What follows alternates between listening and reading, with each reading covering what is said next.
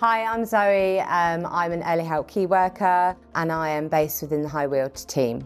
The core purpose of my role is really improving the lives of families with multiple and complex needs and empowering families to utilise on their own strengths and resilience in order for them to be able to make that positive change. I particularly like the role because it's exciting, it's enjoyable, it's rewarding and it's really varied as well.